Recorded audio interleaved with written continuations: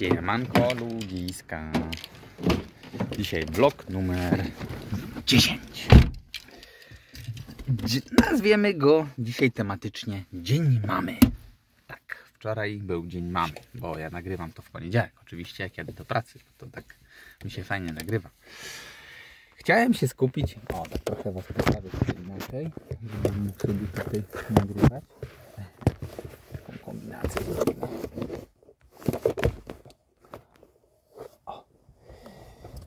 Chciałem się skupić na pozytywnych aspektach tego dnia i powspominać trochę, jeśli chodzi o Dzień Mamy. Ja wiem, że niektórzy mają, pro, mają problemy jakieś tam rodzinne i, i, i, i nie obchodzą tego dnia, ale ja lubię zawsze mojej mamie kupić jakiegoś nietypowego kwiatuszka, o który będzie musiała dbać, bo ona lubi takie rzeczy. Mam nadzieję, że u Was też fajne prezenty poleciały tego dnia, żeby zadowolić mamy. Znaczy zadowolić, uszczęśliwić mamy, gdzie zadowolić. Eee.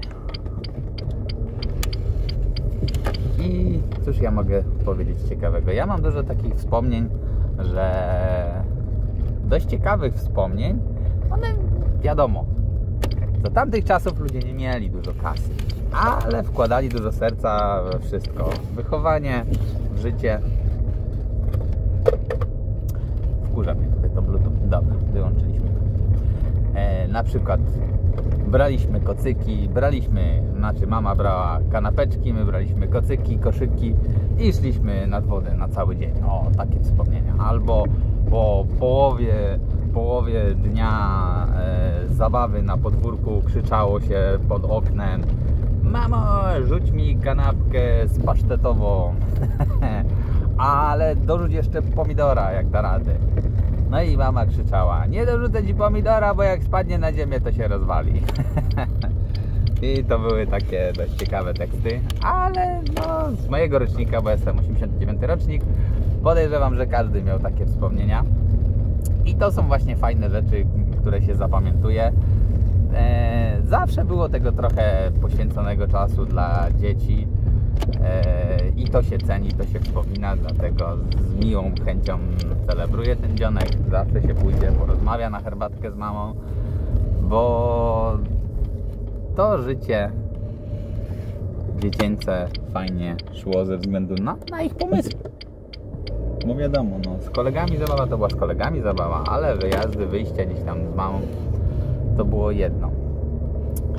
Eee, co jeszcze takiego mógłbym powiedzieć z takich rzeczy?